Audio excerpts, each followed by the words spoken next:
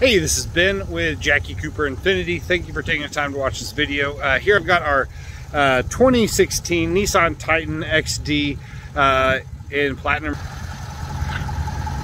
Vehicle's been really well taken care of. Has the uh, cargo boxes that are removable in the back as well as a Utilitrack system. You can see it's got the setup for the uh, fifth wheel uh, right there where it's actually bolted through the system in there.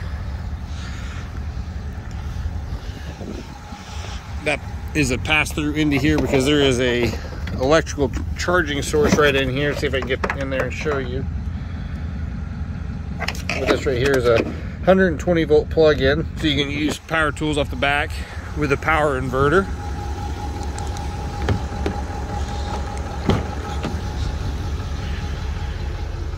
We've got the back seats, the false floor for storing, also with the lockable access. It's on both sides like that.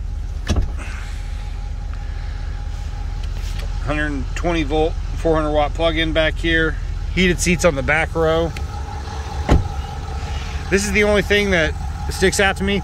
It's like a glue or something that's just looks like it is seeped down. I will try to get some epoxy and see if that comes off.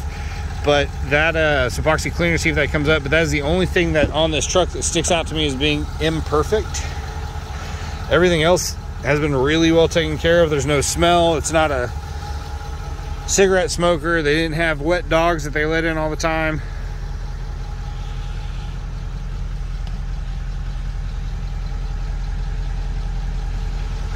Super nice vehicle. If this is something you're interested in, would like to see, uh, feel free to give us a call.